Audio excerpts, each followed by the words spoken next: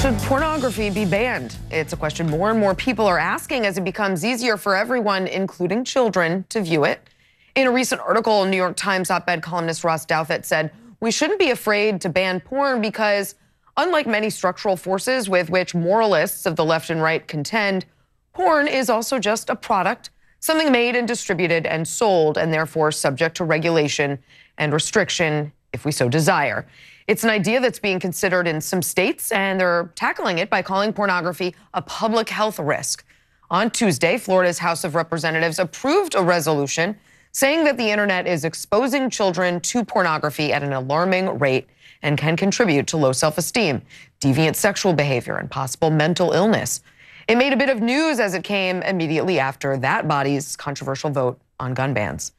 And for years, lawmakers in Utah have looked for ways to curb pornography, finding that the more traditional morality argument hasn't been getting that much legislative traction on this issue lately. They're now trying the aforementioned public health risk framework. And lots of folks in conservative circles are talking about it for some reason. so let's join them. Uh, let's start with what I assume will be the obvious first issue with this civil civil liberties, yeah. right? Uh, that this is uh, speech. Uh, that censorship is not something we like to do in this country. Dave, where are you on this? Well, shockingly, I'm going to agree with you on that. I mean, come on, is there anything that's outside the purview of what government is supposed to be involved in? You're literally talking about two people having sex, recording it, and showing it to other people. Mm-hmm. I mean, yes, it's like, okay, I don't think porn is great. I, don't, I agree, it has a lot of negative effects. Okay. But do we want to live in a free society or not?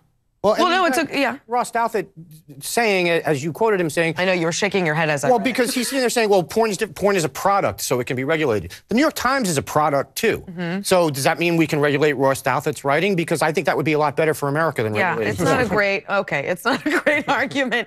But Brian, I mean, you and I have young kids, uh, unlike these uh, childless single bachelors. No.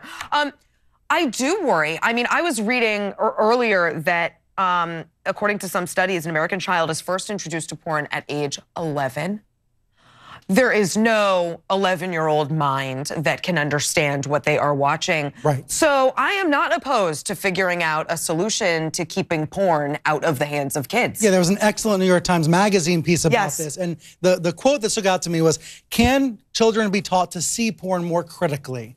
And, and, and I know that's uncomfortable. I don't want them to see porn. To think about. But if we can take that to teenagers or young adults, are there okay. ways to help educate the, the, the, these these consumers of this content. Yes. Think you know, uh, one of the quotes in the piece that also stood out to me was, uh, "No one else is teaching me about this part of my my life. No one else is teaching me about sexuality, right. and these porn stars seem to know what they're doing." Well, that's a so whole other think, problem, right? I that I did it, and that and that gets to what is being taught or not taught to children yeah. about sexuality. Yeah. I, I think this conversation about pornography it's directly related to the misinformation debate that's going on about the Parkland uh, survivors. Yes. It's directly related to President Trump today suggesting that violent video games and movies are a problem. It's about all these different kinds kinds of content searching for that are all available on the evils. internet. They're, they're so much more accessible than they were 10 or even five years ago. And, you, know, you think about how technology is accelerating, and our society is not keeping up mm. with the accelerating pace of technology. And, that, and that's true for pornography, just as like it's true for hoaxes about shooting survivors. Right. No, that's a good point. Uh, uh, another argument that's being made.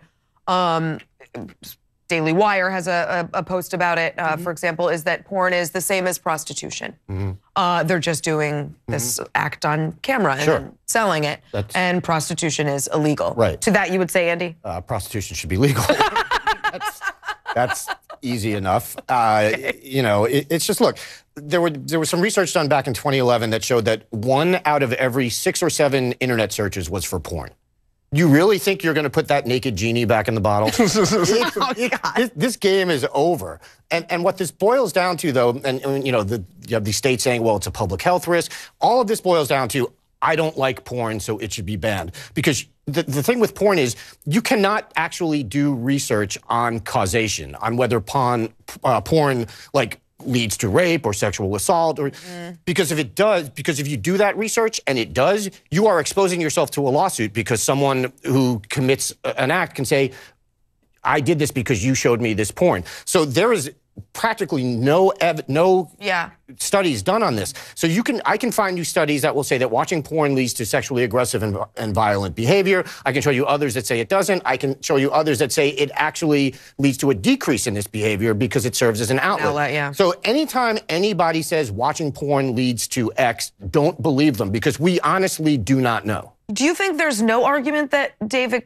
it could be a public health issue that that pornography, as as you said, is is not great, maybe, especially becomes an addiction or something like that? I, I certainly think there's an argument that c- you could be made to say porn's not great, or an argument that certain video games aren't great, or that alcohol's not great. I mean, about 50% of people who commit murders are drunk when they do it. Uh, cars kill a lot of people every year. Swimming Right. pools do too. That's not the point. If you're talking about illegalizing something, it's what are you prepared to do to someone for this? What are we prepared to do to businesses? I mean, you know, heroin's really bad, but now we got 50,000 SWAT raids a year, a militarized police, and the highest incarceration rates in the world. It's like what the government should stay out of this. This is not the role for a government in a free society. Is there a role for government, though, with regards to helping our, our society understand what they're consuming?